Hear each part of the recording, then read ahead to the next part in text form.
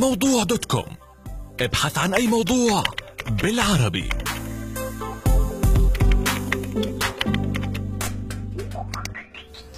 علاج سيلان اللعاب أثناء النوم بيختلف العلاج باختلاف المسبب.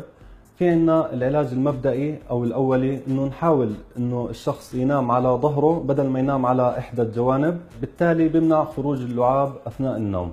في حالة وجود التهاب في الجيوب الأنفية أو زكام أو انسداد في الأنف يجب حل هذه المشاكل نهائيا عشان الشخص يقدر يتنفس من أنفه. بعض المشاكل اللي بتختص في اللوزتين مراجعة أو الطبيب المختص لعلاج المشكلة وبعض الأدوية إنها بتساعد على تخفيف من إفراز الغدد اللعابية. بالتالي العلاج كله بتمحور حول إنه الشخص يتنفس من أنفه عشان يخفف من مشكلة سيلان اللعاب أثناء النوم. موضوع دوت كوم. ابحث عن أي موضوع. بالعربي.